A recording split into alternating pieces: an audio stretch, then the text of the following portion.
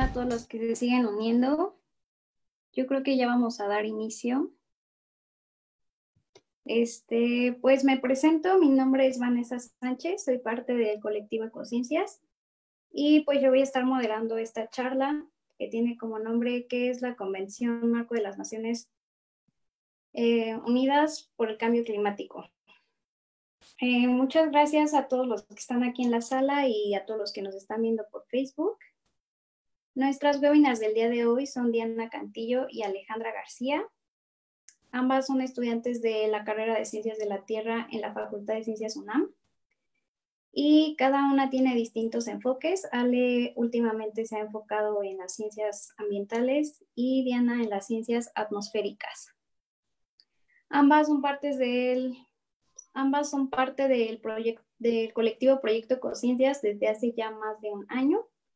Y han trabajado con la División Juvenil de Cambio Climático y otras organizaciones para dar inicio a su camino, a su camino en el tema de cambio climático. De nuevo, bienvenidos y pues chicas, cuando quieran iniciar. Gracias, Vani. Gracias. Bueno, Comenzamos. Buenas tardes a todos y a todas. Yo soy Diana y junto con Ale les vamos a estar platicando un poco acerca de la Convención Marco de las Naciones Unidas sobre el Cambio Climático. Bueno, primero, ¿por qué quisimos hablar sobre la convención, no? Bueno, nosotras, como ya lo dijo también Vane, somos parte de Ecociencias y en Ecociencias buscamos hacer llegar a la comunidad, principalmente estudiantil, pero pues aquí estamos todas y todas pretendemos hacer llegar a, toda la población los recursos, el medio y información respaldada por la mejor ciencia posible para poder empoderar a esta población y así entre todos y todas tomar una iniciativa de acción climática. Por lo que pues decidimos hacer esta primera edición de la Semana de Talleres de Acción Ambiental y pues aquí estamos, ¿no? De igual manera, eh, por medio de la Estrategia Juvenil de Cambio Climático, en donde jóvenes de distintas organizaciones pretendemos desarrollar habilidades que nos permitan involucrarnos en la toma de decisiones. Consideramos también que pues este tipo de información no debe quedarse únicamente entre nosotras.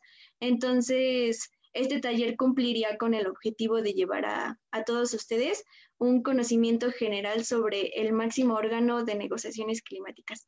Nosotras también hemos investigado un poquito sobre esto con nuestra perspectiva juvenil sobre, sobre pues, este tema y consideramos que es sumamente importante conocer el contexto en el que se toman las decisiones tan importantes sobre el clima en nuestro planeta. Y bueno, otra cosa que hemos identificado es que incluso para quienes trabajan el tema de cambio climático, la convención podría pasar pues de alguna forma desapercibida o ser desconocida. Entonces creemos importante hablar de ella. De hecho, quisiéramos saber, ahí en la pestañita de participantes pueden ustedes poner la opción de levantar la mano.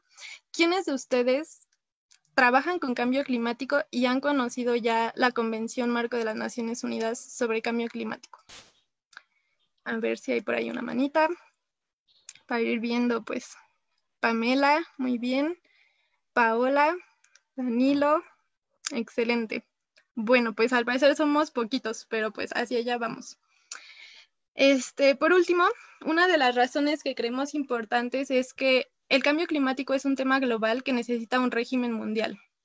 ¿A qué nos referimos con esto? Bueno, eh, la propia Convención Marco de las Naciones Unidas define el cambio climático como un cambio en el clima que puede ser, bueno, atribuido directa o indirectamente a las actividades humanas que modifica la composición atmosférica y que además se suma a la variabilidad climática natural observada en tiempos, periodos de tiempo comparables. Y bueno, sabemos que nuestras actividades diarias emiten gases de efecto invernadero como CO2 o metano, pero esto no solo ocurre en la escala individual, esto ocurre en la escala conjunta, es decir, en las sociedades. Y ya que estas emisiones no permanecen en los límites de los países y contribuyen a un clima cambiante en todo el mundo, pues es por eso que es necesario establecer un régimen pues, mundial que aborde este tema. Además, este, tanto si un país emite mucho, una gran cantidad de GI como si no lo hace, los efectos se van a sentir en la escala pues, global. Es por eso que es tan importante abordar este régimen que pues trata el cambio climático.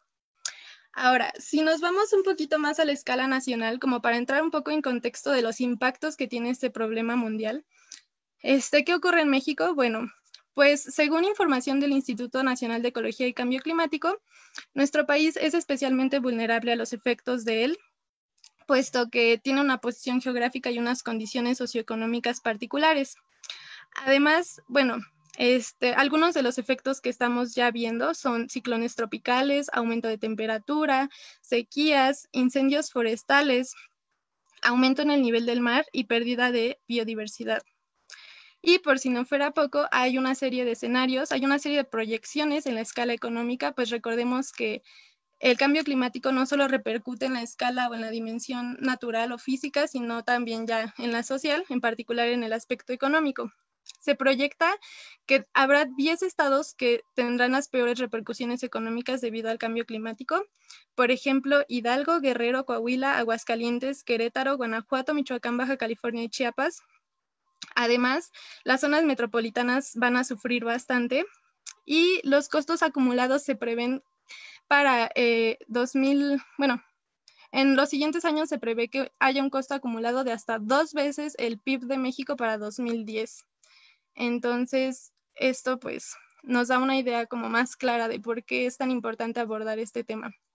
Así que bueno, como ustedes habrán visto, esta plática o este espacio más bien, que es como, quisimos hacerlo como un pequeño tallercito. Este espacio es introductorio. Vamos a hablar de generalidades y aspectos históricos de la convención. Entonces, también hablaremos un poco de México. Y pues les vamos a dar una carpetita que hicimos con mucho amor, con una serie de documentos clave que van a ayudar a responder dudas futuras o dudas específicas, porque como verán, esto va a ser un poco, un tanto extenso, son muchos los puntos que abarcar, entonces esa carpeta tal vez les ayude con dudas futuras. ¿De qué vamos a hablar hoy? Vamos a hablar de generalidades, contexto previo, eh, la propia conformación de la convención, su organización, todo esto a través de una línea temporal y por último, pues México en la convención. Y bueno, como yo ya les mencionaba, es necesario un régimen mundial para abordar el cambio climático. La Convención Marco en inglés se escribe como UNFCCC, United Nations Framework Convention on Climate Change, y tiene el siguiente objetivo. Su objetivo es la estabilización de las concentraciones de GI en la atmósfera para impedir riesgos en el sistema climático. Y aquí el tiempo es una pieza clave, o sea, se necesita un tiempo suficiente para permitir tres cosas, que los ecosistemas se adapten naturalmente al cambio climático, asegurar la soberanía o este, la producción de alimentos y permitir un desarrollo que prosiga de forma sostenible. Esto a lo mejor genere controversia, puesto que hay otros modelos que podrían adoptarse, pero esto es lo que sugiere la convención. Entonces, ¿qué sucede un poquito antes de que se conforme la convención? La convención se conforma hacia 1992, pero unos años antes, en la agenda mundial, ya se tenía como identificado un problema global que era la degradación del planeta, así se le entendía. Entonces, la degradación del planeta era un tema que de hecho se tocó en la Conferencia de Naciones Unidas sobre Medio Humano en Estocolmo y pues ponía como por primera vez en la agenda de todos los países al cambio climático, puesto que la degradación ambiental este, comprendía cambio climático, degradación de la, este, litorales, eh, contaminación, entre muchos otros este, temas globales, ¿no? Entonces de aquí surge algo muy importante que es el Programa de Naciones Unidas sobre Medio Ambiente, PENUMA como la vemos en español, o UNEP por sus siglas en inglés. Y bueno, continuando con este contexto histórico, una vez que el Programa de las Naciones Unidas para el Medio Ambiente ya está constituido, se celebra la primera conferencia mundial sobre el clima en Ginebra. Y aquí es la primera vez en donde llevan evidencias científicas que decían cómo nuestra actividad antropogénica estaba afectando el, clima en el planeta. Para un año después, para 1980, estos datos fueron aumentando, entonces los gobiernos, los estados, se vieron a la tarea de que tenía que haber un órgano independiente e imparcial para abordar esta cuestión. Es así como el Grupo Intergubernamental de Expertos sobre Cambio Climático fue creado. Y bueno, eh, por sus siglas es IPCC.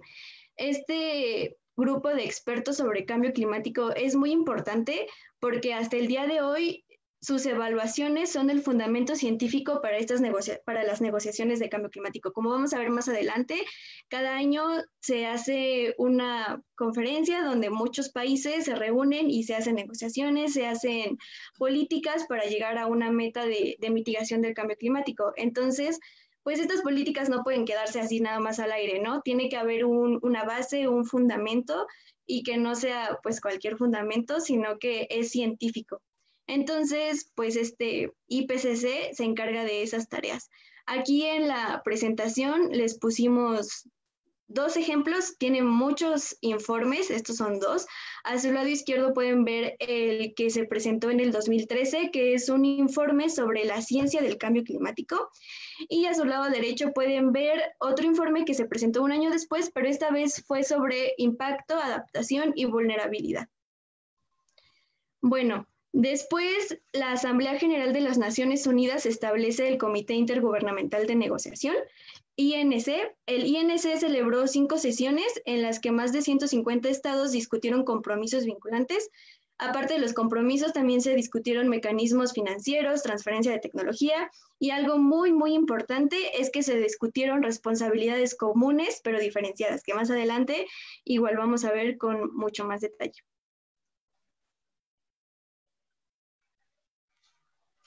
Ok, em, esta conferencia, este la UNFCCC, como ya vimos, la Convención Marco de las Naciones Unidas, se firmó en la cumbre de, la Tierra en Río de Janeiro. Em, tiene dos convenios hermanos, son muy, muy parecidos, igual tienen sus diferencias, pero los fines son los mismos, crear negociaciones, crear políticas para no sobrepasarnos de los límites que tiene el planeta. Uno de ellos es el convenio de la ONU sobre diversidad biológica y el convenio para combatir la desertificación. Dos años después, finalmente, la UNFCCC entra en vigor. Bueno, pues ¿cuál es la importancia de la Convención Marco? Primero, pues hay que recordar que la ONU es el la máxima organización internacional. Se formó hace ya bastante tiempo con el fin de abordar temas globales como la paz y la seguridad, pero también para la cooperación internacional en la resolución de problemas, pues globales también. Entonces, este es nuestro instrumento legal más grande y el foro internacional más importante para abordar el cambio climático. Todas las decisiones que se toman repercuten en el nivel mundial, nacional y local. Entonces, ¿cómo está organizada? Bueno, los países que conforman o son miembros de, la convención este, lo hacen a través de eh, algo llamado como conferencia de las partes.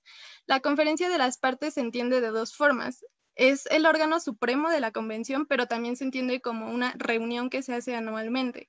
Eh, son las dos como funciones que tienen las COPs, que así se abrevian, ¿no?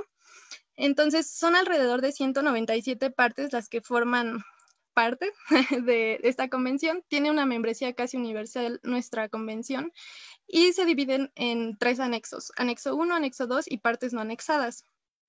Aquí también recordemos, estas COPs reciben mucha atención mediática. De seguro ustedes las han escuchado en algún momento de su vida.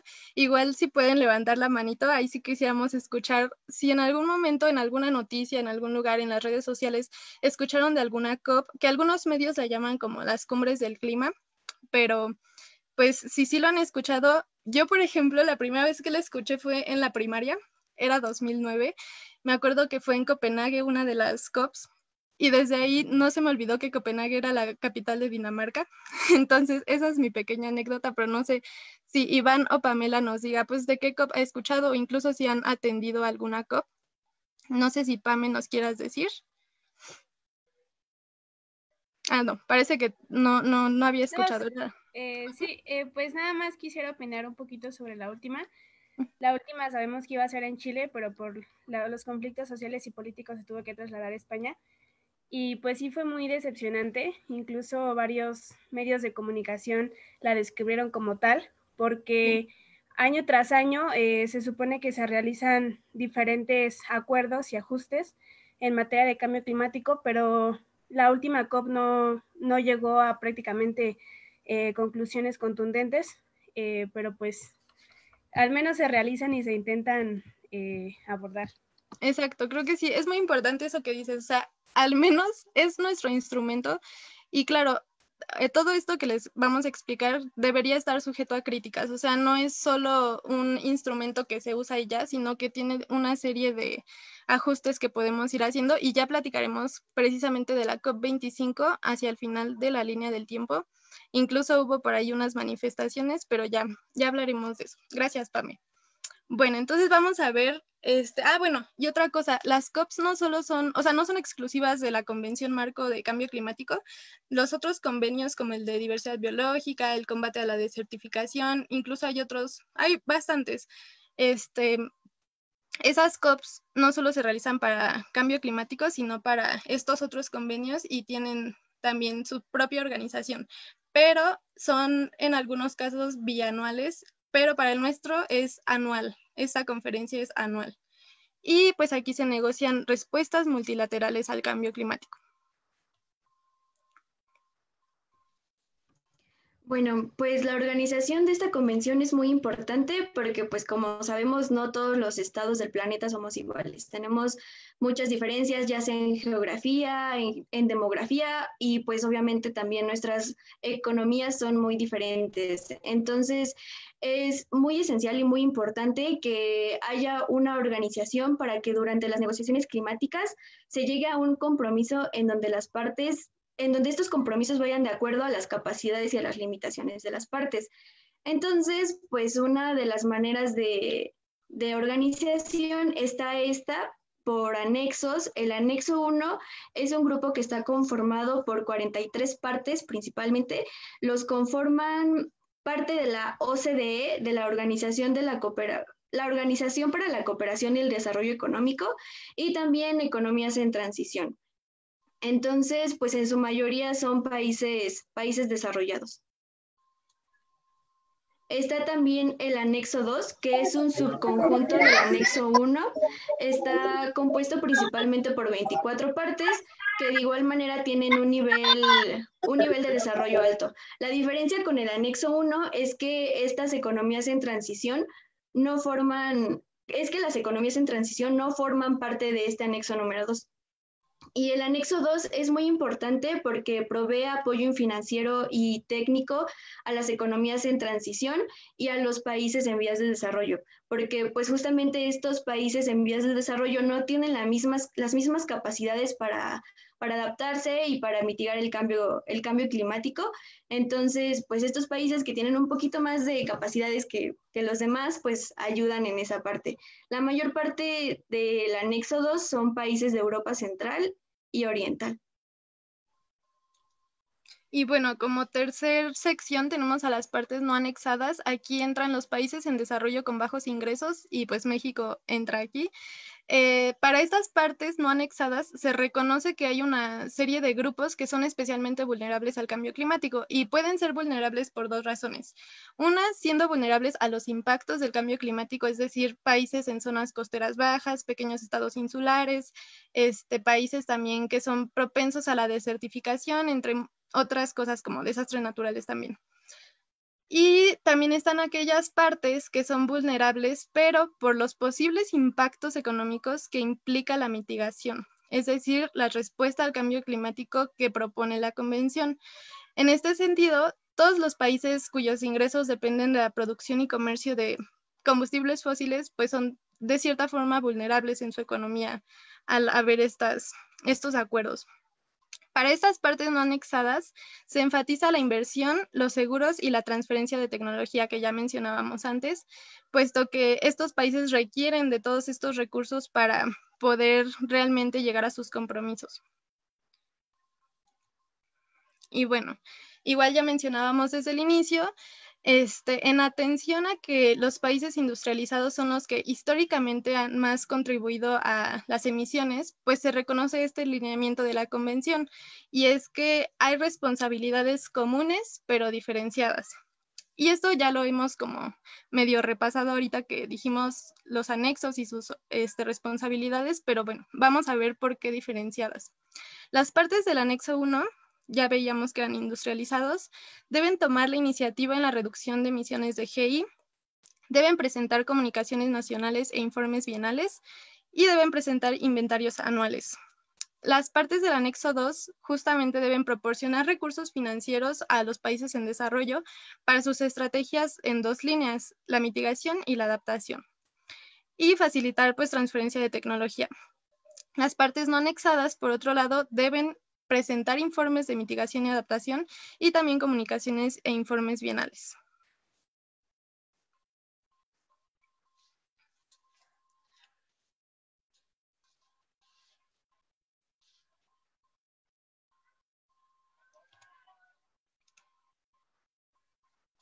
Creo que no se puede desmutear, Diana. Creo que la host hay que permitir a, Diana que... Voy. Sí.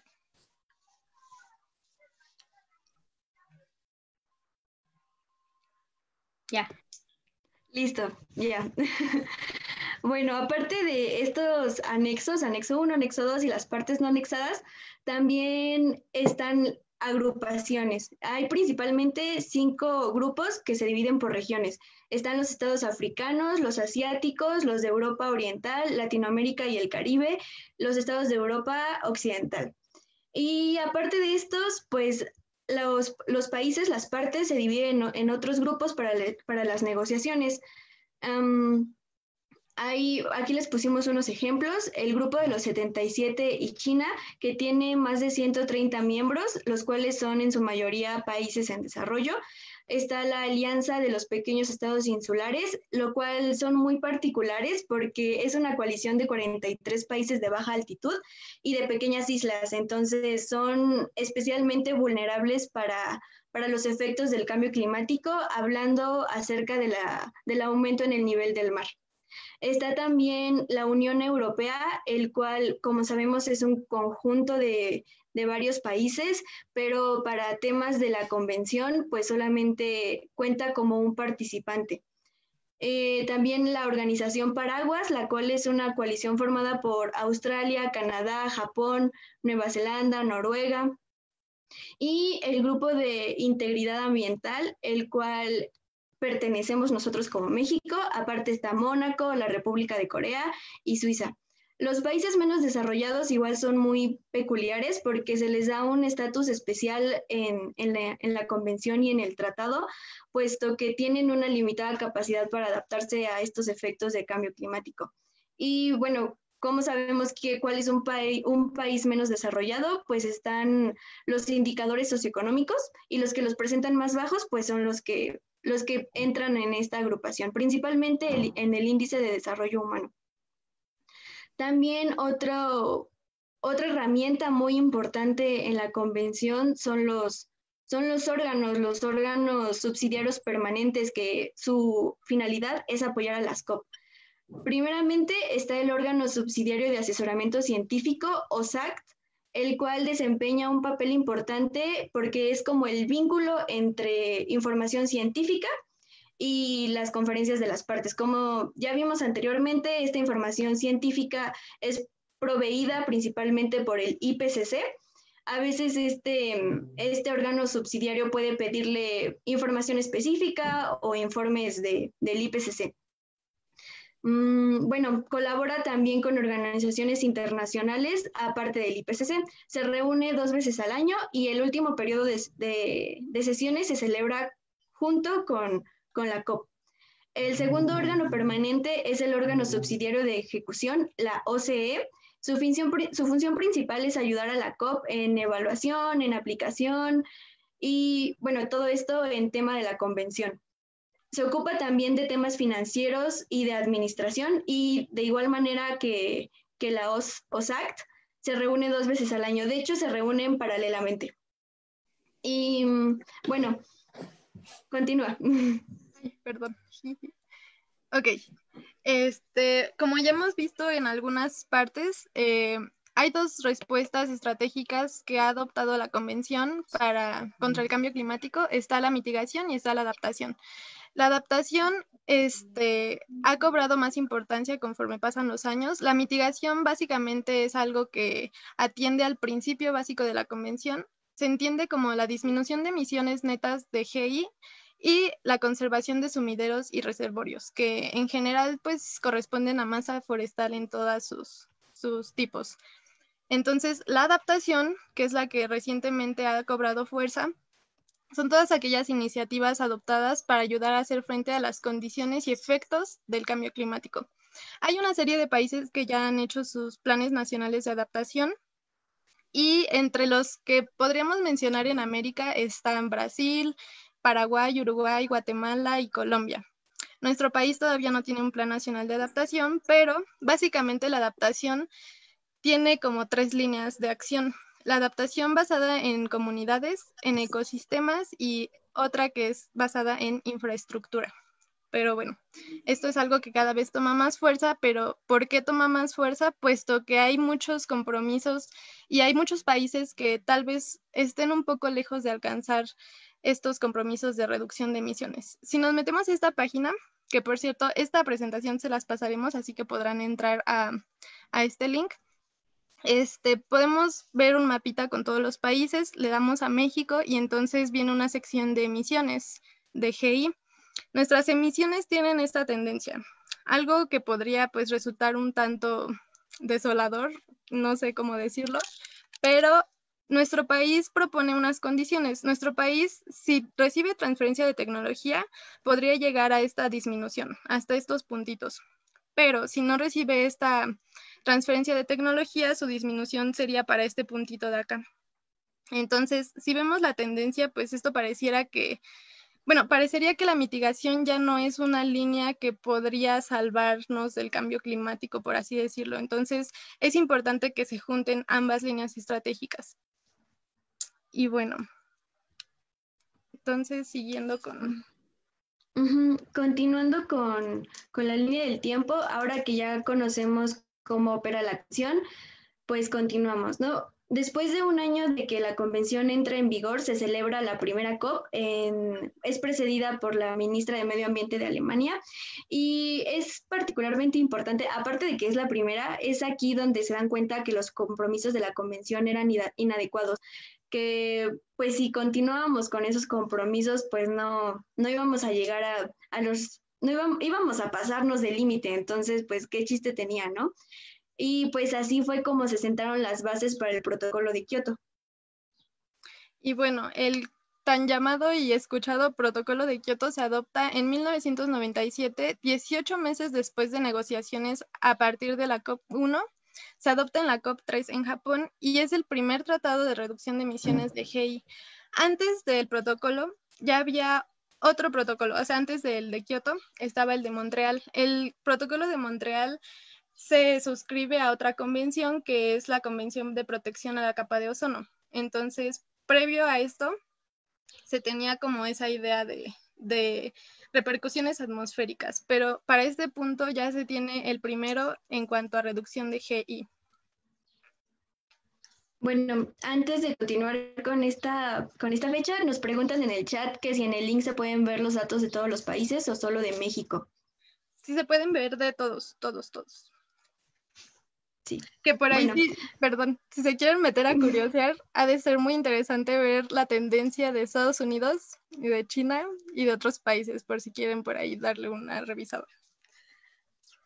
Ahí jugar con, con el link. Bueno, em, bueno, las cosas no son solamente como de proponer un protocolo, proponer un acuerdo y pues ya las cosas se hacen solitas, ¿no? Pues obviamente, ¿no? Y pues se necesitan una serie de reglas, así fue como, como, nacieron, como nacieron los acuerdos de Marrakech, justamente para darle como continuidad, para saber por dónde, por dónde íbamos a ir. Está el comercio internacional de emisiones, el cual hacia grandes rasgos es un tema bastante complicado, es mucha economía, mucha política, pero pues aquí una así una embarradita, ¿no? Aquí se dice que los países que tienen unidades de emisión de sobra, es decir, se tiene como un cierto límite, un rango de, emisiones y si un país le sobra, tiene un margen de emisiones, no se sobrepasó del límite ni nada, entonces puede vender ese, ese carbono, esas emisiones a otros países. Y es de esta forma como el carbono se, se convierte como en cualquier otro producto del mercado. Y también está el mecanismo de desarrollo limpio, que permite a un país que ya tiene un compromiso de reducción de emisiones implementar un proyecto de reducción en países en desarrollo. Aquí viene la diferencia con, con el siguiente, el cual es eh, la implementación conjunta. Este permite a un país, de igual manera que ya tiene un compromiso de reducción, invertir en un proyecto de reducción, pero en un país del anexo 1. Si recordamos, los países del anexo 1 son como, como los top, los top de los países. Y bueno, para febrero de 2005, por fin el protocolo de Kioto entra en vigor. Aquí les dejamos un videito. Cuando tengan la presentación podrán pues por ahí darle una checada. Es el mensaje del secretario general este, de la ONU, Kofi Annan, para ese momento. Y pues desde entonces se siente como esta urgencia de tomar medidas y pues quizá viendo el video como que se entienda más este sentido que se le da a que entre en vigor el protocolo entra en vigor cuando Rusia presenta su instrumento de ratificación. Y pues, ¿qué es el protocolo de Kioto? Bueno, el protocolo de Kioto básicamente es un complemento de la convención. Si hablamos de la convención, pues ya, ya veíamos el objetivo de la convención. El protocolo tiene el mismo objetivo, estabilizar los, este, las emisiones de GI y para esto se establece un periodo de tiempo y un objetivo ya específico. El primer periodo en el que funciona la convención, digo el protocolo, perdón, es de 2008 a 2012.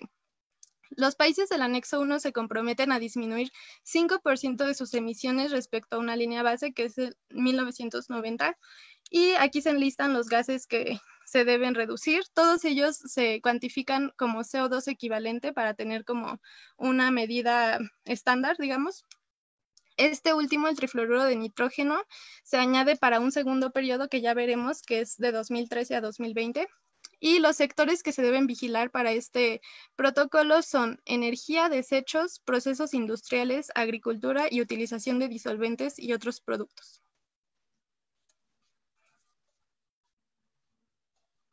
Ok, y bueno, no lo dije en la presentación de los órganos, pero la, OCE también, aparte de todo lo que ya les había mencionado, supervisa el plan de acción de Bali y es aquí donde les iba a empezar a hablar del plan de acción de Bali.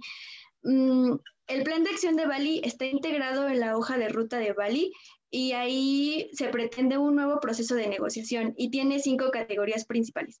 La visión compartida, la mitigación, adaptación, tecnología y el financiamiento. Aquí está la famosa COP en Copenhague que nos estaba platicando Ale, y pues es importante porque es aquí donde países desarrollados prometen hasta 30 mil millones de dólares en financiamiento para el periodo, para un periodo de 2010 a 2012. Y también prometen 100 mil millones de dólares para el 2020. Tiene que ser, esta, este dinero tiene que ser distribuido entre mitigación y adaptación, porque pues son igualmente importantes.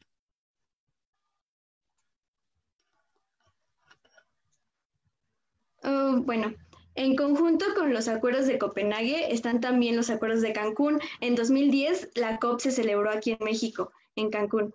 Entonces, estos acuerdos de Cancún son un paquete integral entre el Fondo Verde para el Clima, el Mecanismo de Tecnología y el Marco de Adaptación. El Fondo Verde para el Clima tiene el fin de ampliar de provisión, financia, de provisión, provisión de financiamiento a largo plazo para los países en desarrollo y el Mecanismo de Tecnología pretende facilitar un, mediante desarrollo y transferencia de tecnología hacia la mitigación y la adaptación.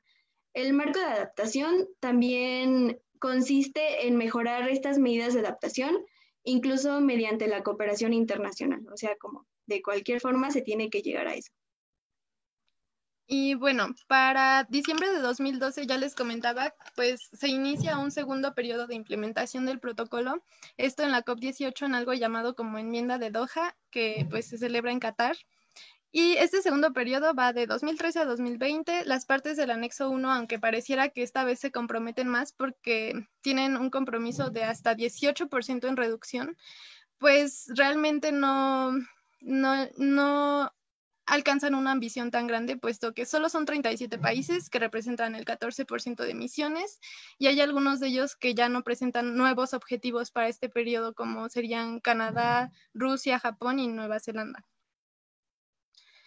Eh, para noviembre de 2013 eh, se tiene en la COP19 los resultados de Varsovia. Aquí algo importante es que se integra el enfoque de género en los programas de la convención. Igual se reconoce que justamente mujeres y hombres no tienen un mismo papel o no tienen un mismo impacto ante el cambio climático. Aquí también se arreglan, se agregan, las reglas para la reducción de emisiones de la deforestación y degradación de los bosques. Esto es especialmente importante en países en los que pues la masa forestal es grande. Nuestro país tiene este, una estrategia nacional que surge en 2017, Red Más. Este más se añade porque no solo tiene un enfoque de mitigación, que es reducción de emisiones, tiene también un enfoque de adaptación, puesto que esto penetra como en el sector de desarrollo rural sustentable. Entonces, este resulta como un mecanismo un tanto más integral. También tendrá de pronto por ahí sus bemoles, pero también este, algo que sucede aquí en Varsovia es que se agrega un mecanismo para abordar pérdidas y daños a largo plazo. Esto es un logro para el sur global, puesto que en el sur global ya se ven estos efectos y no hay una forma contundente de hacerles frente. Así que bueno, estos son los logros para el momento. Bueno, y seguramente estoy casi segura de que así es. ¿Alguno de ustedes ha escuchado sobre el Acuerdo de París que quisiera compartirlo? ¿Qué es lo que, lo que conocen? ¿Algún dato interesante o algo ya más así sofisticado? Porque pues aquí lo vamos a ver como superficialmente. Pueden alzar su manita o pueden escribirlo en el chat.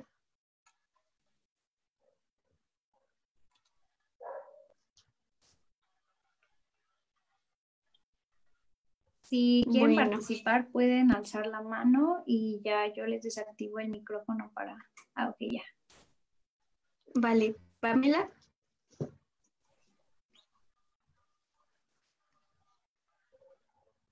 Ah, sí, pues nada más mencionar que creo que de lo más importante que tiene ese acuerdo es que se establece que la temperatura mundial tiene que estar por muy debajo de los 2 grados centígrados y que los países tienen que pues obtener más esfuerzos para limitarla aunque sea 1.5 grados, pero pues sí fue de los de las COPs más importantes quizá, porque justo como, como ponen ahí en la presentación, fue la primera vez que se puso a todas las naciones en una causa común. Y también la reglamentación del derecho internacional ambiental también se intentó poner un poco más estricta, porque pues Recordemos que finalmente los acuerdos internacionales no tienen precisamente un carácter obligatorio eh, jurídicamente hablando, pero pues el Acuerdo de París eh, se supone que sí intentó avanzar en ese aspecto jurisdiccional. Vale, muchas, muchas gracias. Igual por aquí en el chat nos están poniendo lo de las NDCs. Más adelantito vamos a hablar sobre eso. Y justo como nos decía Pame, pues es la primera, es una de las COPs más importantes en París, la COP 21, y pues todas las naciones se unen por una causa común, ¿no? Para pensando en las generaciones futuras, justamente. Y pues ahí en el link podemos, bueno, más bien cuando nosotros les, cuando nosotros les pasemos la presentación pueden ingresar, pueden checar, ahí curiosear en, en la página, justo como la página que nos compartió Ale hace ratito, y incluso podrían descargarlo para, para echarle una leída.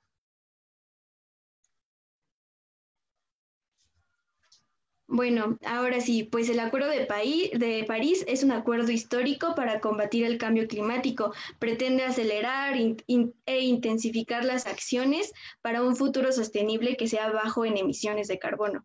Y bueno, su aplicabilidad sería para este año, para el 2020. Eh, creo que es importante mencionar también que 30 días después de que entró en vigor 30 días después de que al menos 55 partes que representaban aproximadamente el 55% de los GI presentaran instrumentos de ratificación, o sea, que lo, que lo aprobaran. Entre sus objetivos más importantes, como ya lo habían mencionado, es mantener el aumento de la temperatura mundial por debajo de 2 grados y pues preferiblemente por debajo de 1.5 grados con respecto a la era preindustrial. También em, todo esto se pretende hacer mediante las contribuciones definidas a nivel nacional, las NDCs, lo cual son pues las herramientas que tiene, que tiene este acuerdo para llegar a las metas. Em, estos, estas NDCs se actualizan cada cinco años estas NDCs tienen que presentar también con cada actualización mayor ambición y este año es pues especial porque se están actualizando las NDCs. Aquí en México se está haciendo. Entonces, pues si se registraron, seguramente sí, en el Forums, pues verán que les agregamos ahí la encuesta nacional juvenil en donde, en donde pues podían ver que les hacíamos preguntas como, ¿cómo tú te sientes con con el cambio climático? ¿Crees que es una amenaza para ti? ¿Crees que es una amenaza para tu comunidad? Entonces, de esa manera nosotros y nosotras como jóvenes estamos contribuyendo a que los tomadores de decisiones nos tomen en cuenta. Entonces, si no lo han respondido, pues ahí lo pueden checar en, Facebook, en la página de Conciencias. Ahí está el link, lo pueden ingresar y pueden, pueden contestar la encuesta también. Este, se están llevando a cabo mesas de diálogo en donde tiene la misma finalidad que, que la encuesta. El punto es que nosotros como jóvenes pensemos y analicemos qué podemos cambiarle a las NDCs, cómo lo podemos hacer y pues todos estos análisis, tanto de la encuesta como de las mesas, lo vamos a hacer llegar a los tomadores de decisiones. Entonces, pues es muy importante nuestra, nuestra opinión, porque pues al final del cabo somos ciudadanos, ¿no? Y somos ciudadanos que tenemos voz.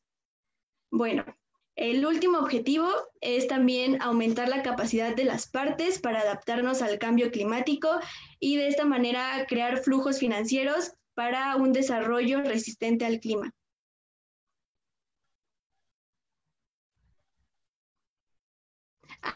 y bueno, este video muy emotivo, por cierto, es justo cuando, es justo de la COP21, cuando se lleva a cabo el Acuerdo de París.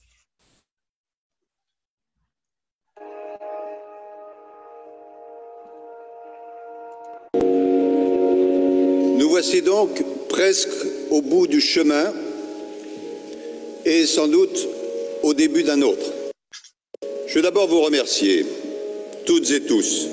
À chaque étape, l'objectif a été de nous rapprocher ensemble de l'accord souhaité par tous, de contenir l'augmentation de la température moyenne bien en deçà de 2 degrés et de s'efforcer de limiter cette augmentation à 1,5 degrés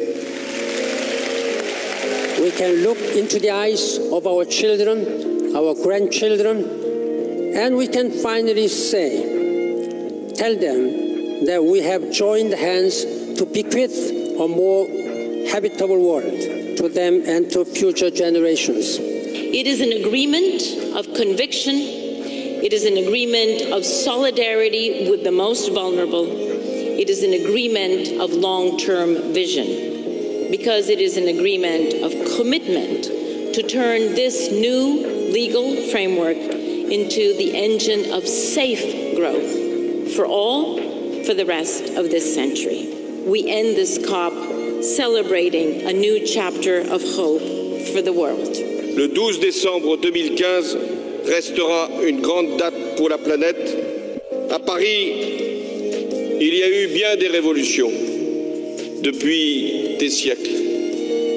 Mais aujourd'hui, c'est la plus belle et la plus pacifique des révolutions qui vient d'être accomplie, la révolution pour le changement climatique. L'accord de Paris pour le climat est accepté.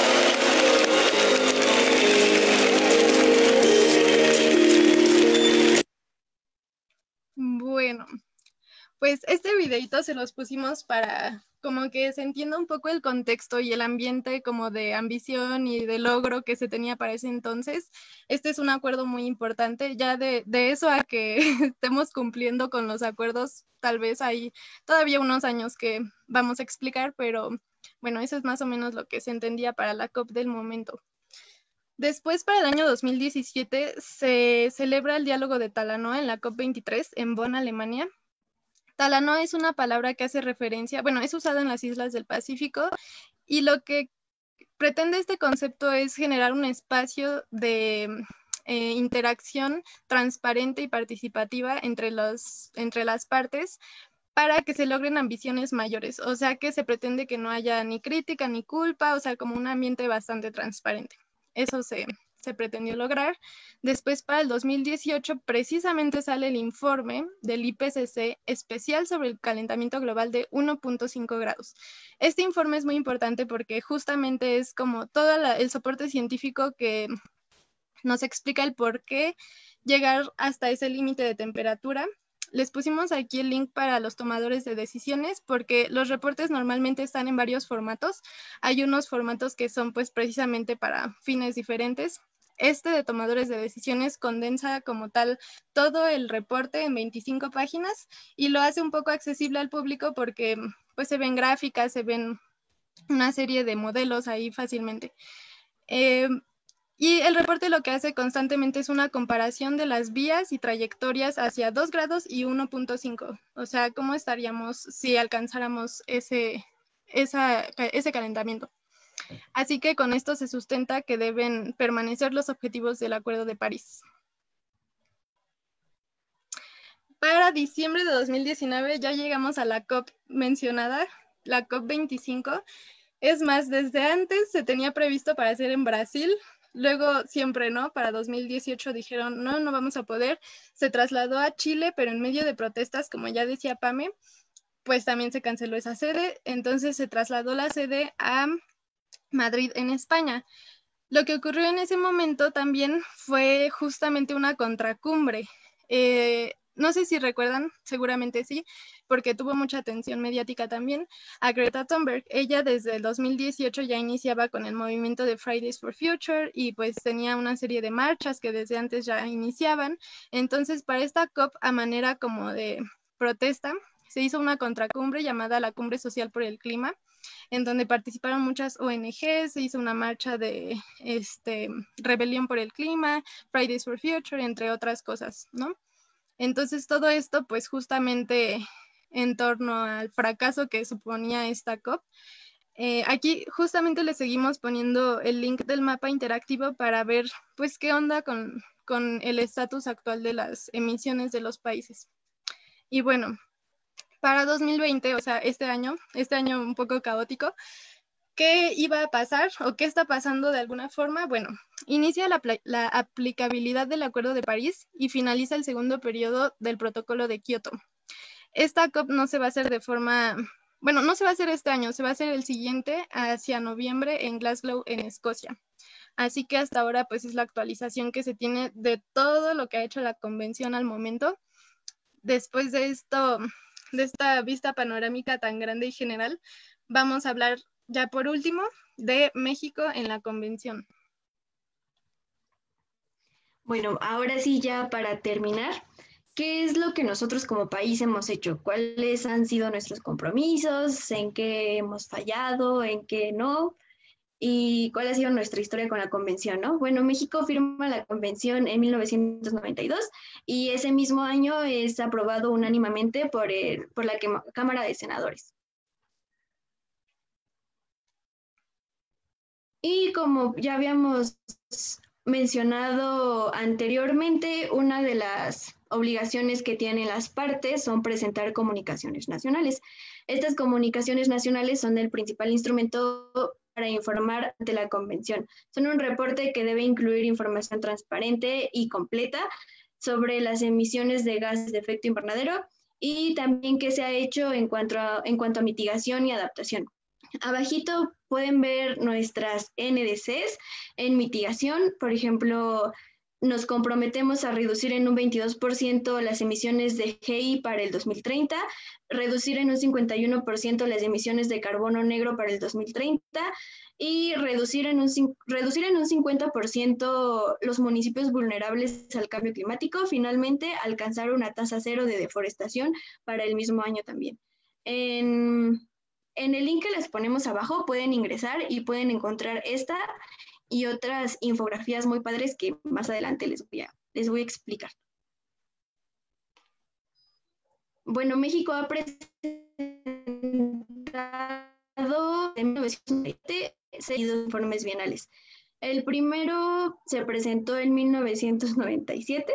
Todas las comunicaciones nacionales deben incluir un inventario de emisiones de GI en cierto periodo de tiempo. Entonces, este primero fue para un inventario para, el, para 1990. la segunda comunicación nacional se presentó en 2001, la tercera se presentó en el 2006, la cuarta se presentó en el 2009 y la quinta comunicación nacional se presentó en, en 2012. Es particular porque ese mismo año también se lanzó la Ley General de Cambio Climático y en esta comunicación nacional se añade todos los alcances que ha tenido esta Ley General de Cambio Climático bueno, dos años después de la quinta comunicación se presentó el primer informe bienal que provee a la comunidad internacional información regular respecto al estado de avance en, en instrumentación de políticas y programas para, combatir el cambio climático.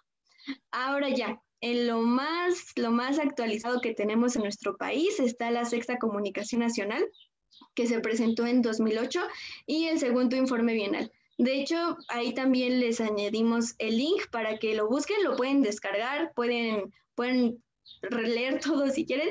Y lo particular de esta comunicación nacional es que el segundo informe bienal es un anexo de la comunicación nacional. Entonces, así es como, como está. Bueno, pero ¿qué más tiene aparte del informe bienal? Pues tiene unas rutas de mitigación de los de estos gases, de los gases de efecto invernadero, y también de compuestos de efecto invernadero. También tiene diseño de medidas e instrumentación para la adaptación y algo que se me hace muy, muy importante, contiene también información sobre educación, formación y sensibilización del público sobre el cambio climático. El segundo informe pues incluye justo el inventario de gases de efecto invernadero en un periodo de 1990 a 2015. Y pues en el link también pueden encontrar infografías, aparte de esa que ya les presentamos al inicio, que les explicó Ale, también hay otras muy padres, muy, muy gráficas, nada de, de contenido técnico ni nada. Había una sobre energía y cambio climático, sobre uso de suelo y cambio climático, de vulnerabilidad, de salud, de ciudades, educación, y hay una evaluación de la política nacional de cambio climático también. Entonces, pues si tienen la oportunidad de entrar, véanlo y está muy padre. Bueno, pues ya que este espacio es para proveerlos de información y que después ustedes tomen acción de alguna forma leyendo estos lineamientos, eh, de alguna manera intentando abrir espacios para la participación, etcétera, como ustedes quisieran tomar esta herramienta, pues les dejamos aquí varios links de lo que fuimos consultando, todo es de la página oficial de la convención. Y otra cosa importante es que la gran parte de, la info que aquí resumimos es de un cursito que ofrece UNCC eLearn. Aquí está el, el link. Este, como este hay varios cursos en la página. Hay pues bastantes de cambio climático y de sostenibilidad. De hecho, el que usamos fue Introducción al Cambio Climático. Pueden tomarlo, es muy fácil. Son 12 horas que son autorreguladas y pues lo mismo para otros cursos, incluso aquí vienen las nociones básicas de Red Plus. Y ya con esta información, pues ustedes tal vez tomar como la decisión de empezar a trabajar con algún programa o empezar a proponer o incluso llamarle la atención a quienes tengan que tomar cierta decisión.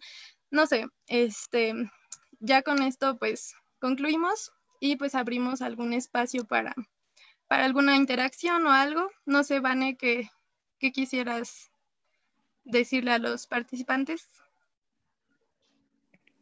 Hola, pues muchas gracias a la Dianita. ¿Qué les parece los que están aquí en la sala de Zoom? Si quieren hacerle alguna pregunta a Ale o a Diana, alzan su manita y pues pueden prender su cámara o lo que sea para interactuar con ellas. O incluso si tienen un comentario en el que quisieran dar alguna información o incentivar algún cambio, no sé, algo que quisieran también aportar, todo es bienvenido. Algo que no se dijo, algo en lo que pues a lo mejor nos equivocamos o se nos pasó.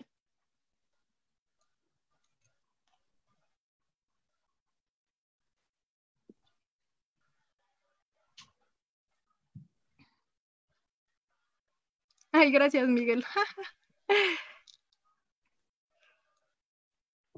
pues bueno, ah, hubo un... Ay, sí, ¿qué pasó, Vane?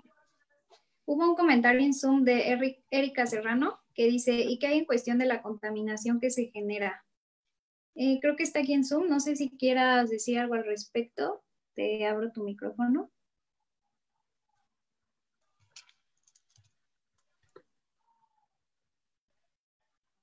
Erika, a lo mejor sigue por ahí. O escribirlo en el chat. Dice Angélica, tiene una pregunta. A ver.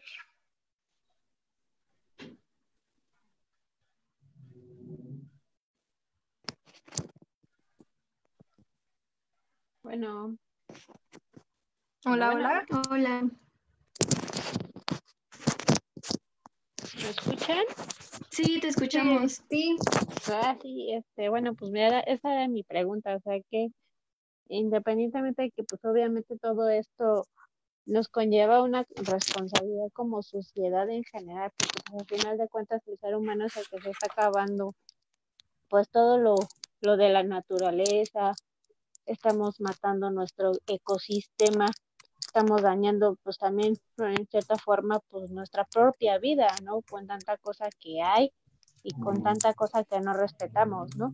Entonces yo decía, bueno, es importante lo que nos mencionaron, pero pues qué pasa también con lo que producen las empresas, o sea, cómo ahí se puede pues hacer alguna iniciativa o algún programa en donde pues también las empresas se, se comprometan a que a que esto no siga creciendo, ¿no? Y que no siga perjudicando, pues no nada más a, a los seres vivos, sino a nosotros como personas en la sociedad.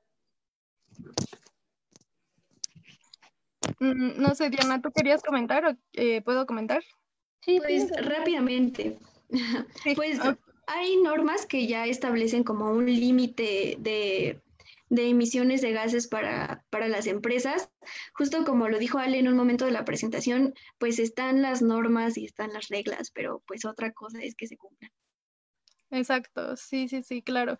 Creo que vivimos en un país en el que de pronto es complicada esa traducción de la ley a la realidad, pero es importante que como ciudadanos, precisamente este espacio pretende ser pues de difusión y de divulgación para que pues cada vez estemos más informados y entendamos un poco de todos los procesos que implica desde el nivel internacional hasta el local. Pero algo que sí creo muy importante es no olvidar el nivel local. ¿Qué podemos hacer nosotros en pues en nuestra región, en nuestro municipio, etcétera? Entonces, teniendo estos instrumentos, creo que es importante ir identificando a nivel local o a nivel regional qué leyes, qué cosas se pueden hacer, qué iniciativas ya hay, que de hecho hasta veíamos como un poquito complicado ir encontrando las iniciativas, pero es necesario tomar como punto de partida algún, algún otro colectivo, alguna otra organización que ya ha hecho algo, alguna otra empresa que ya hace algo, y entonces nosotros teniendo pues esa iniciativa de alguna forma pues replicarlo, aprender y pues creo que es lo que está en nuestras manos. Incluso está en nuestras manos llegar a ser los tomadores de decisiones, que claro, eso es bastante complicado, pero podemos hacerlo de alguna forma. Así es. Ahora sí que todo, todo costa en nosotros mismos y pues salir conociendo todas estas herramientas. La verdad las felicito porque creo que el tema es muy extenso. Para resumirlo en tan poco tiempo, pues sí es algo complicado, yo que pues cotidianamente me enfrento también a conferencias con maestras y así, es un poco complicado resumir toda una información muy grande en, una hora y cachito o, menos, ¿no? Eh, la verdad las felicito y qué bueno que se abren estos espacios y pues considero que debería de haber mucho más pues más divulgación y sobre todo más espacios así como para que la gente pueda expresarse y la gente también haga conciencia de lo que estamos haciendo, ¿no? Y de lo que existe en nuestro planeta, ¿no? Sí, claro. Pues sí, muchas gracias. Igual, este, justo les iba a mostrar, o bueno, más adelante les haremos llegar esta carpeta porque creo que es necesario tener a la mano justo estos documentos clave que nos hagan, pues hasta sentir cierta curiosidad por ir pues analizando qué es lo que establecen y de qué forma es que esto se puede vincular al plano nacional. Entonces, esta carpeta pues se las haremos llegar. Este, pero creo que ahorita hay otras dudas, por ahí vi que que en el chat. Sí. Muchas gracias, Erika. Le voy a dar la palabra a Pame porque alzó la manita desde hace rato. Listo. Sí, bueno, primero igual quiero felicitarlas por abrir este espacio y por su presentación. Estuvo muy, muy interesante. Y bueno, yo solo quiero hacer un comentario y una pregunta. Como comentario, eh, pues solamente decir que sí, la, convención es muy, las convenciones son muy importantes, pero lamentablemente eh, el derecho ambiental internacional eh, utiliza mucho la ley suave en el sentido de que no hay como mecanismos obligatorios definidos. El primero que, que intentó hacer eso fue el protocolo de Kioto en su artículo 3, pero ni siquiera así se ha logrado lo que es necesario y pues sabiendo que la convención eh, tiene como máximo órgano el Programa de Naciones Unidas de Medio Ambiente, pues finalmente el, el PENUMA también es una parte de la ONU. Entonces, como tal, no hay una organización internacional eh, especializada plenamente en el cambio climático, porque, por ejemplo, a nivel económico está, está la Organización Mundial del Comercio, y con la salud pues la OMS y sabemos que y de otras otro tipo de organizaciones, ¿no? Pero en temas de cambio climático no. Entonces pues sí es evidente que el tratamiento que ha recibido la problemática ambiental eh, pues no tiene función jurisdiccional eficiente. Entonces eh, pues sí quería decir que como bien una de ustedes lo mencionó, es importante la acción local y, yo de manera personal le sugeriría ampliamente que también se sumaran a, las marchas que se realizan, eh, por ejemplo, con Fridays for Future México, porque pues sabemos que finalmente la historia se escribe en las calles y si nosotros como sociedad tampoco exigimos a, a las empresas y a los gobiernos, pues con nuestras acciones individuales sí vamos a lograr, pero pues sinceramente no mucho, porque es un problema grande y se requieren soluciones grandes. Entonces, qué mejor que, también protestar. Y eh, mi pregunta era si ustedes saben qué perspectivas eh, se tienen hacia la siguiente COP que va a ser en Escocia. Si saben como, por ejemplo, desde el plano de México, eh, si tiene perspectivas para, para los planes políticos de esa COP. Bueno, yo nada más como respondiendo un poquito a, lo primero del protocolo.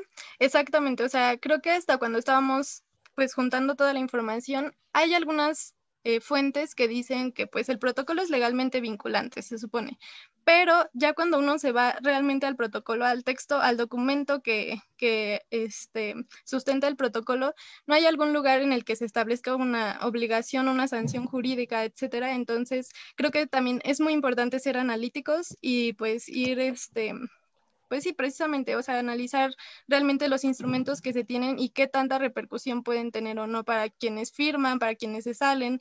Por mencionar algo, ya no lo dijimos, pero pues Estados Unidos salió del Acuerdo de París, bueno, inició su salida formal desde hace tiempo y pues, ¿qué hacemos los demás países, no? O sea, pues sí es importante cuestionar todo esto a nivel, pues, incluso internacional. Y no sé, Diana, no sé si querías agregar algo.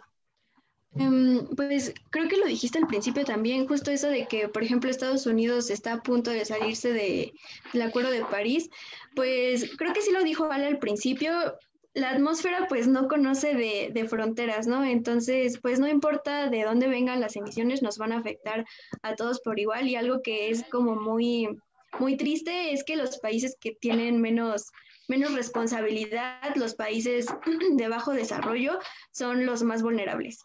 Entonces, pues creo que el cambio está, bueno, es como una opinión muy personal, está en nosotros los jóvenes, porque pues al final de cabo nosotros vamos a llegar a esos lugares de, donde se toman las decisiones. Entonces, si nosotros vamos cambiando, podemos cambiar el mundo. Y sobre... Ah. No, hacia adelante. Yo iba a decir sobre, sobre la COP del próximo año, em, se está organizando por ahí algo, algo para, para, para, justamente llegar a esos temas. Aquí pues no veo a mi compañero, a mis compañeros en donde, donde se está organizando todo, entonces ellos podrían responderte lo mejor. No sé si Ale quieres complementar mi respuesta.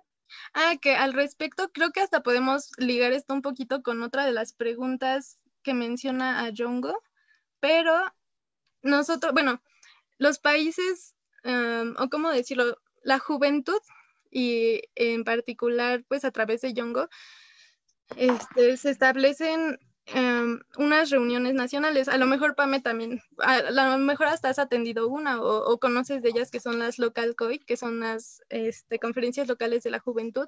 Y ahí es donde se trata como un poco esto, este ambiente previo a la COP. Entonces, justamente estamos como en un equipo en el que se va a armar la siguiente local COI. Este, chance y ahí ya sea un poco más claro qué es lo que nosotros como juventud estamos esperando de la COP, porque ya en el plano internacional yo no sabría decirte México, pues qué, qué, este, qué esperanzas guarda, pero, pero bueno, chance y eso podríamos verlo como juventudes al interior de estas reuniones que por cierto, el día viernes va a ser la plática de Yongo. Todos los de Yongo han de estar más enterados al respecto porque ahí está Anita, quien está coordinando esto de la local COI en México. Entonces, pues, si te sirve por ahí la info, pues estaría interesante que se unieran para el día viernes a las seis. Gracias. Eh, les voy a leer unas preguntas que hay en Facebook. Dice, ¿dirían que el Acuerdo de París y las demás medidas que se han tomado internacionalmente han funcionado bien o sugerirían medidas más específicas? Pues yo sugeriría medidas, a, lo mejor no específicas como tal, pero con muchísima más ambición. Como, bueno, yo siento que los países se lo han llevado como muy, muy relax, muy a la ligera. Entonces, pues justo con las NDCs es lo que se pretende hacer, es que estas NDCs pues son como los objetivos que tenemos como país para alcanzar las metas eh, que no sobrepasemos el límite, el límite de emisiones. Entonces, pues más, bueno, sí, pues los NDCs son, son parte del Acuerdo de París, entonces yo pensaría que el punto, el, ¿cómo se dice? El secreto está en pedir, pedir más ambición, y ser mucho más rigurosos con, las políticas, mucho más rigurosos con, con, el sector privado, también como en el sector, como en el sector público, es lo que, lo que yo sugeriría.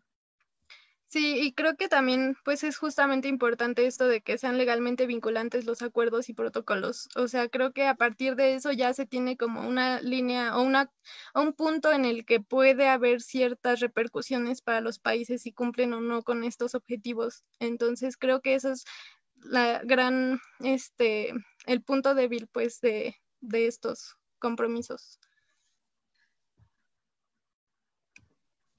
Súper, muchas gracias. Ah, y hay otra pregunta de Iván Ortiz.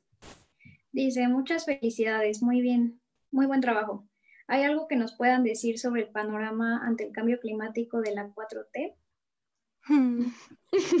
Ay, mañana es la plática, no, ¿cuándo es la plática? Este, la política climática ante la 4T. Mañana sigan a Sandra Guzmán, a Isra Solorio, es un comercial porque quizás nosotros no, no estamos en esta posición. Yo ya veía por ahí unos comentarios en, en, ay, como por aquí en el chat venía un comentario de que precisamente nuestro plan de desarrollo no está encaminado a políticas de mitigación, pues de ninguna manera.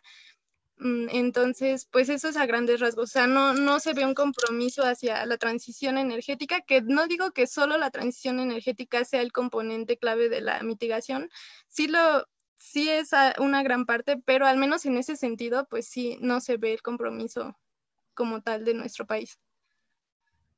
No se pierdan mañana con Sandra Guzmán. Ah, y hace rato Angélica quería comentar algo. No sé si todavía quieras decir algo. Angie.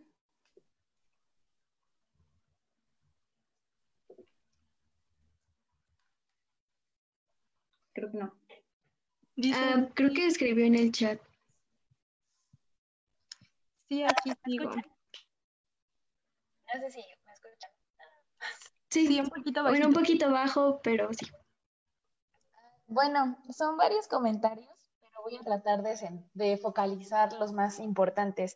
Por ejemplo, yo estuve investigando algunas cuestiones sobre el INEC y me di cuenta que no hay un apartado en esta institución eh, que pueda como, ah, bueno, hacen inventarios, hacen escenarios, estoy muy enterada de lo que hacen, pero no hay un, un departamento, creo que no hay, que identifique que los inventarios y las propuestas que ellos hacen se lleven a cabo. Además de que también, no sé, no estoy muy segura, pero también como que están ligados a muchos proyectos que se hacen. Entonces, no sé como qué se tendría que hacer para que este tipo de departamentos se puedan crear en esas instituciones que son como importantes.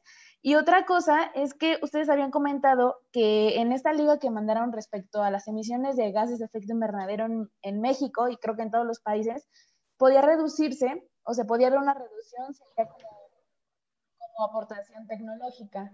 No entendí muy bien a qué se refería esta, esta aportación tecnológica y de parte de quién sería, si de los países más desarrollados o como los del anexo 1 o no sé, esa parte no la entendí muy bien. Ok. Creo que ay, yo no escuché bien la fuente de emisión tecnológica, ¿cómo, cómo es? Ah, no, que ustedes habían dicho que los GEI para México se podía ver una reducción si había una aportación tecnológica, Sí, pero claro. no entendí muy bien esa parte. Ah, ok, ok, sí, sí, sí. Pues, bueno, en ese, eh, respondiendo precisamente a eso, digamos que los países establecen un objetivo de reducciones condicional e incondicional, sobre todo para el mapita que les mostraba, de hecho creo que sería bueno ponerlo, pero lo voy a ir buscando. Este, bueno, entonces, si nosotros como país no anexado, eh, es decir, país en desarrollo con bajos ingresos, no recibiéramos esa transferencia tecnológica a la que están comprometidas las partes del anexo 2, entonces no estaríamos en la posibilidad o, o no tendríamos los recursos necesarios para lograr el objetivo de reducción que se ve en el mapa. Creo que eso es la... A ver, lo voy a poner. Aquí está. Ajá, entonces esto es condicional, ¿no? Con la condición de que se nos transfiera tecnología y recursos, como todos los países del anexo, de, no anexados.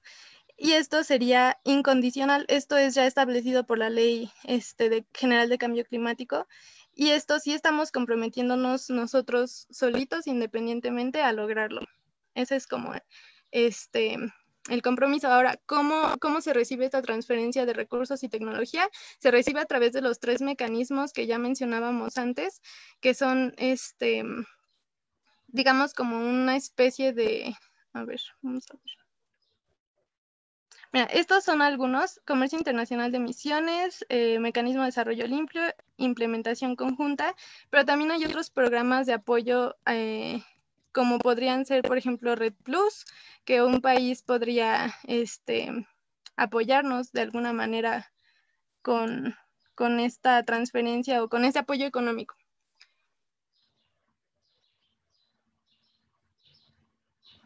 Y Diana, no sé si quisieras mencionar algo extra. Bueno, aquí, bueno, extra esto, no. Quisiera leer un comentario que está en el chat. Vane, la moderadora. Mande. ¿Sí? si quieres Bueno, leerlo, voy a leer. que lo lea yo. Léelo. Vale. Eh, Miguel Morales nos escribe que con la refinería, que con la refinería Dos Bocas vamos a aumentar un 22% de gasos, gases de efecto invernadero para el 2030 según la CEMAR, los mismos 22% que México se comprometió a bajar. Sí, justo creo que esto igual vamos como al mismo punto acerca de de cómo se está llevando a cabo toda esta, esta política climática en el, en el gobierno actual. Entonces, pues nuevamente yo les sugeriría que mañana, es a las 11 creo, con la conferencia con Sandra Guzmán, porque pues es muy interesante y todos estos temas pues no se deben dejar como, como al aire. Sí, así es. Pues creo que ahora sí ya no hay más preguntas ni dudas. No sé si quieren hacer comentarios finales ustedes. Mm, pues no, básicamente agradecerles por conectarse porque pues es un tema bastante amplio y, sé que es hasta tedioso, pero pues intentamos resumirlo y hacerlo como lo más digerible posible para, para que no se aburrieran tanto. Entonces, agradecerles por conectarse y pues les mandamos la carpeta en donde van a poder acceder a todos los links y a todos los archivos que están por ahí, por si tienen más curiosidad, pues verlo, saciar su curiosidad y, y pues por aquí andamos. Sí, pues igual, muchísimas gracias. Nos preguntan si la conferencia de la 4T es por ecociencias, pero no. Vamos, este, para facilitarlo, o sea, para que lo puedan ver, vamos a compartir desde nuestra página eh, la información de la conferencia. Esa va a ser vía Zoom, pero es esa parte. Pero sí se ve que está interesante y son expertos en el tema de, de política climática. Pues muchas gracias chicas, muchas gracias a todos los que están aquí en la sala de Zoom y los que están allá por Facebook. Eh, unos anuncios rápidos. Esta semana van a seguir habiendo talleres, es la semana de talleres de acción ambiental. Mañana va a estar el taller de alimentación sustentable. El jueves tenemos el de lombricomposta. Y el viernes vamos a tener dos charlas súper importantes, de verdad no se las pierdan. Va a ser con Yongo y va a ser con Dana Espinosa. Toda la información va a estar en nuestra página. Eh, nuestro Facebook es Proyecto Ecociencias y en Instagram nos pueden encontrar como Ecociencias. Y pues nada, muchas gracias a todos los que están aquí, los de Facebook. Nos vemos mañana. Gracias, chicas. Bye.